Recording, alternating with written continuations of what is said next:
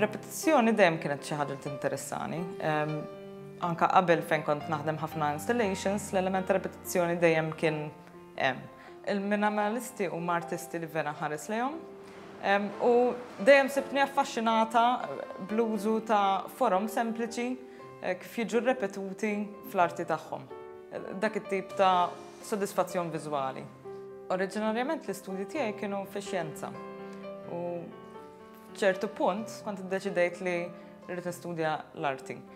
U minn hemmhekk bdejt niżviluppa l-interessi tiegħi fil-viżiv.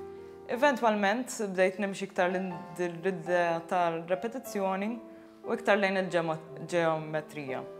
Eh, minn hemmhekk, ovvjament bdejt inħossni iktar interessata eh, fil-linji.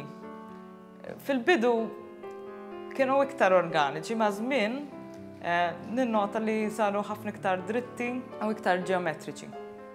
Ħolma li bħalissa qed noħloq hija li nikkombina l-gold leaf ta' l-ikoni ta' Eastern Europe mad-diżinji tiegħi. Narahom jaħdmu ħafna flimkien U b'hekk qed tnaqqas tradizzjoni antika ma' forsi diżinji iktar moderni.